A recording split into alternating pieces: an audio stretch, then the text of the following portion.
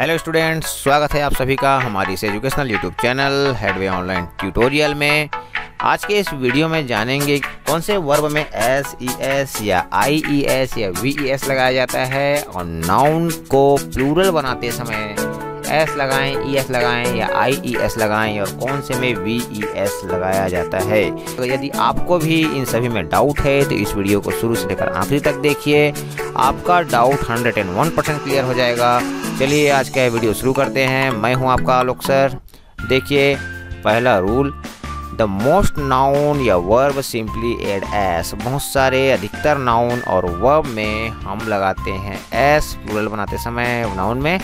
देखिए काऊ का हो जाता है काउस बॉल का बॉल्स बुक का बुक्स ये तो हो गया नाउन अब देखिए वर्ब में क्या होता है? वर्ब में रन का रन्स ईट का ईट्स कट का कट्स इसमें तो आपको किसी प्रकार की परेशानी नहीं होगी। क्योंकि इसमें सिंपल आपको सिर्फ़ एस लगाना है, इसमें किसी प्रकार का रूल फॉलो नहीं होता है। आगे देखते हैं सेकंड नंबर जो रूल है for most noun is verbs that end in a vowel plus Y और ओ एड एस आपको वॉवेल जो होता है, देखिए यहाँ पर क्या है ए ई आई ओ यू ये जो हैं, ये वॉवेल हैं, स्वर हैं इंग्लिश लैंग्वेज के।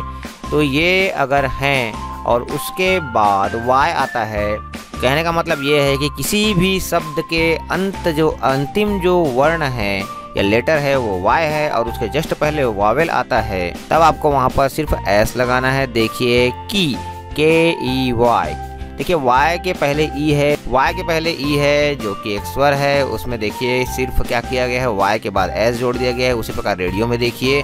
यहाँ पर ओ है, मैंने कहा y हो या ही ओ हो। उसके पहले अगर वावेल आता है तो आपको सिर्फ़ और सिर्फ़ एस लगाने हैं। कुछ एक्सेप्शन हो सकते हैं। देखिए वाई का वॉयस सब देखते हैं वर्ब में। वर्ब में भी सेम रूल फॉलो होता है। वाई के पहले ए है प्ले में देखिए तो प्ले का प्लेस हो गया। एन्जॉय में वाई के पहले ओ है तो यहाँ पर एन्जॉयस हो गया। ठीक है, अगला रूल देखते हैं। Rule number three add E S आपको कैसे और कहाँ पर ई एस डालना है? यह सबसे बड़ा परेशानी होता है बच्चों में। तो कहाँ कहाँ पर ई एस डालना है? यदि किसी शब्द या नाउन के अंत में ओ हो सी एच हो एस एच हो एस हो डबल एस हो एक्स हो जेड हो तो कुछ नहीं करना है। आप इस चीज़ को याद कर लीजिए, दिमाग में रख लीजिए कि आपको वहाँ पर ई एस ही लगाने हैं। आपको प्लूरल बनाने के लिए आ जाता है एग्ज़ाम में, या आपको प्रेजेंट सिंपल अगर आप बना रहे हैं तो वहाँ पर third person he she it और नेम के साथ आप लगाते हैं E S I am in two से वर्ब का पाँचवा फॉर्म तो आपको कहाँ पर ई e एस लगेगा और कहाँ पर एस लगेगा, वहाँ पर परेशानी नहीं होनी चाहिए। नाउन के बस बस का हो गया बसेस यहाँ पर ऐसे देखिए लास्ट में। किस किस का हो गया? किसेस? टैक्स का हो गया टैक्सेस। एक्स है इसलिए ई एस लगा। बेंच का बेंचेस और डीस का डीसेस देखिए वर्ब वर्ब में देखिए गो गो के अंत में क्या है? ओ है तो हो गया गोस डू का हो जाता है डज और कैच का हो जाता है कैचेस विस का विशेष और इच का इचेस देखिए, यहाँ पर ई e एस लगा है सभी में। मैंने आपको पहले ही बता दिया। यदि ओ आए सी एच आए एस एच आए एस आए डबल एस आए एक्स आए या जेड आए तो आपको ई e एस ही लगाने हैं। कुछ एक्सेप्शन हो सकते हैं किसी भी लैंग्वेज में, लेकिन 98 परसेंट ये आपका रूल आपका फॉलो होगा। तो इस चीज़ को याद कर लीजिए। नेक्स्ट देखते हैं रूल नंबर फोर कहाँ पर आई ई एस एड करना है, ये भी काफ़ी कॉम्प्लिकेटेड होता है। किसी भी नाउन या वर्ब का लास्ट अक्षर, जो लास्ट लेटर है, वह वाई हो और उसके जस्ट पहले यदि आप कॉन्सोनेंट हो कॉन्सोनेंट क्या है, मैं पहले बता चुका हूँ। ए ई आई ओ यू को छोड़कर इंग्लिश में सभी कॉन्सोनेंट होते हैं। मतलब 21 कॉन्सोनेंट होते हैं इंग्लिश में। तो आपको वाई के पहले यदि वे दिखते हैं तो आपको वहाँ पर क्या लगाना है? आई ई एस लगाना है। उस वाई को हटा के ठीक है एग्ज़ाम्पल में देखते हैं बेबी तो देखो यहाँ पर वाई को हटा दिया गया है और वाई को हटाकर आपको क्या लगाना है?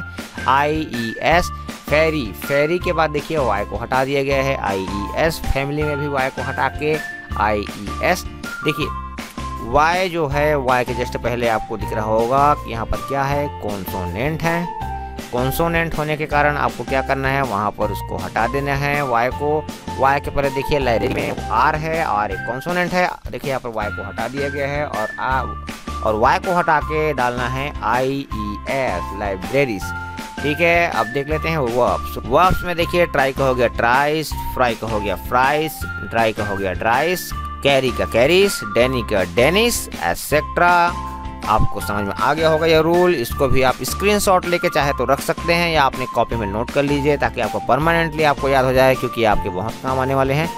नेक्स्ट देखिए add V E S for most noun verb that end in F or F E देखिए, यहाँ पर एग्ज़ाम्पल समझते हैं। नाउन में देखिए लीफ का एफ़ को हटा दिया गया है और हो गया लीव्स यहाँ पर बात कर रहे हैं हम वी ई एस कहाँ लगाते हैं? देखिए यदि किसी भी वर्ड के आखिरी में आपको एफ़ या एफ़ दिखता है तो उसे प्लूरल नंबर बनाने के लिए नाउन में आपको करना क्या है? एफ़ को हटा दीजिए और लगा दीजिए V E S F E है तो एफ़ ई को हटा के लगा दीजिए वी ई एस देखिए लिप का लीव्स हो गया नाइफ का नाइफ्स हो गया थीप का थीव्स हो गया योर सेल्फ का योर सेल्फ हो गया। इसी प्रकार वाइफ का वाइफ्स हो जाता है वोल्फ का वोल्व हो जाता है। अब इसके वर्ब्स देख लेते हैं। इसमें देखिए, पहला नंबर है loaf L O A F अंत में आया है एफ़ तो एफ़ को हटा देंगे और लगा देंगे वी ई एस तो ये हो जाएगा लॉस अगला देखते हैं half H A L F F को इसमें भी हटा देंगे और लगा देंगे वी ई एस तो ये भी हो जाएगा हाउस तो आज का वीडियो यहीं पर ख़त्म करता हूँ। आशा करता हूँ कि आपको यह वीडियो समझ में आ गया होगा। जितने भी मैं आपको कुछ रूल्स यहाँ पर बताए हैं। उनके स्क्रीनशॉट ले लीजिए या फिर इस वीडियो को डाउनलोड कर लीजिए और इसको बार बार देखिए ताकि दिमाग में आपके यह आ जाए और आप जब भी प्रेजेंट सिंपल टेंस बनाते हैं या कहीं भी आपको नाउंस के प्लूरल फॉर्म बनाने होते हैं तो आपको यह बिल्कुल ही आसान लगे, आपको अच्छे समझ में आ जाए। आगे हमारे आने वाले वीडियोस हैं। Question tag emphatic and use of do does did etcetera तो आप हमारे इस चैनल को सब्सक्राइब कीजिए, इस वीडियो को लाइक कीजिए, और इस वीडियो को ज़्यादा से ज़्यादा शेयर करना ना भूलें, ताकि आपके दोस्त, आपके फ्रेंड को भी इस रूल्स के बारे में पता चले, ताकि उनके भी, उन्हें भी अगर इस इस बारे में अगर कोई कठिनाई है, इस विषय पे अगर कोई कठिनाई है तो उन्हें, उनके कठिनाई का निवारण हो सके।